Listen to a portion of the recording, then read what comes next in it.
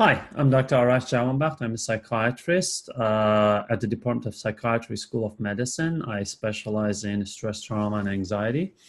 Uh, today, I want to just present a few bullet points about good ways of coping with the stress of the current pandemic.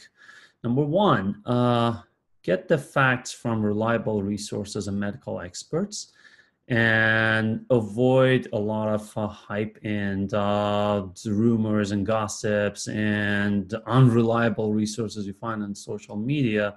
Get the facts. It's important to know what we need to do, and that gives us a sense of control and reduces uncertainty. So it's helpful in reducing the stress but mm, also at the same time avoid too much exposure exposure to the news. We don't need hours and hours of exposure to the pandemic news to be able to take care of what we need to take care of. Uh, so avoid too much exposure. Make sure you get hours and hours of breaks from the news.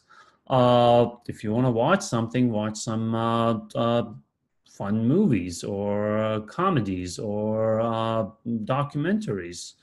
Animals are cool things to watch. Uh, stay connected. It's important to be social connected. We are social uh, creatures. Uh, it's important to be physically uh, distant, but there are millions of ways with the new technology to stay connected. So it's important to be socially attached to other people uh, well, besides you using for social media, our phones surprisingly have another purpose, which is calling people. So call people, uh, do video chats, and talk to people you love, and stay connected.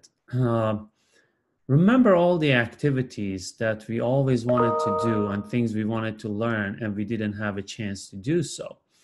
Uh, so this is the time. We have more time at, at our hand. We can always uh, go back to learning the instrument we always wanted to learn to play or the course online free course we wanted to learn to add to our skills. And of course other hobbies that we didn't rarely had time to uh, get to. Um, keep the routines. Go to bed at the same time. Get out of the bed at the same time. Have the meals at the same time. Watch out we don't want to gain a lot of weight during this time. So it's important to stay in the routines we had before. We are we need structure to be happy in our lives.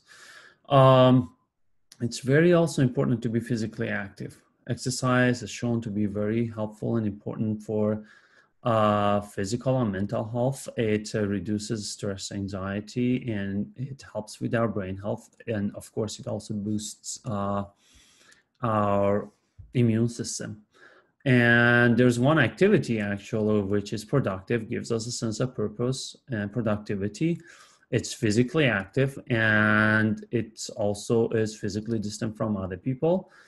Uh, as well it uh, helps with harmony and staying connected with the nature which is gardening and yard work uh, this time of the year. And also know that this is going to be over soon. So it's hard but it's not a, it's not going to be forever Thank you.